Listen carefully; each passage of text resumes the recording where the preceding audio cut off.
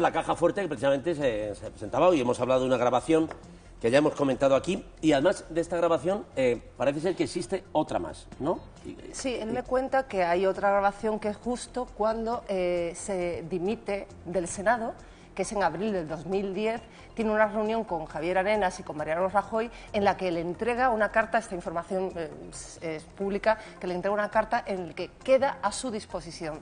Y ahí es donde él pacta pues, un poco las condiciones de me quedo con secretaria, chofer, eh, tengo, o sea, eh, una, vuelvo a tener un sueldo y vuelvo a estar incorporado al Partido Popular, que esto es todo, todo eh, el culebrón que todavía tenemos de la indemnización en diferido, que mm. dicen que no se reincorporó al Partido Popular. Pues ahí fue cuando, se, cuando, cuando negocia esa reincorporación y esa, esa, esa supuesta reunión la tiene grabada. O sea, esa sería la segunda grabación. Bárcenas asegura también que posee el contenido de esos famosos discos duros que se destruyeron en Génova.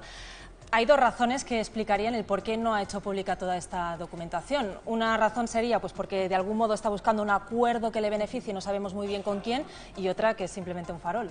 No, pues eh, la, de los discos duros eh, de los ordenadores la entregó el 15 de julio al juez Pablo Ruz.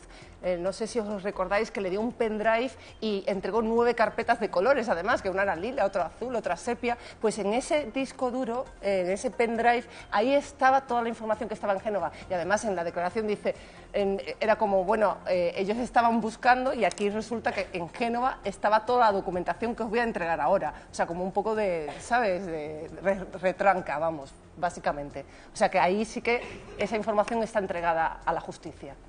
y, ahí, ¿tiene Bárcenas más pruebas que desconozcamos que puedan incriminar a la cúpula del Partido Popular?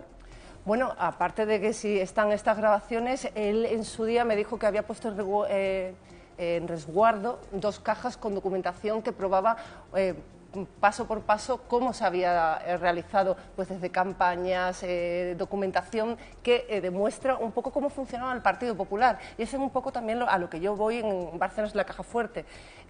la financiación del partido tal como se conoce en los papeles de Bárcenas, no empieza con Luis, sino que empieza antes con Manuel Fraga, Rosendo Naseiro y, Francisco Álvarez Cajos como secretario general. Y además hacen, eh, elevan a pública un acta en la que dicen que los tres que es el Triángulo de Génova, es una de las teorías que yo mantengo, eh, los tres tienen las máximas competencias para eh, mover los fondos del Partido Popular. Eso lo hacen delante de un notario que se llama Rafael Ruiz Gallardón, el tío de Alberto Ruiz Gallardón. O sea, que es un poco la fórmula y la forma que tienen de, actuar en el partido desde 1982. Vaya peliculón.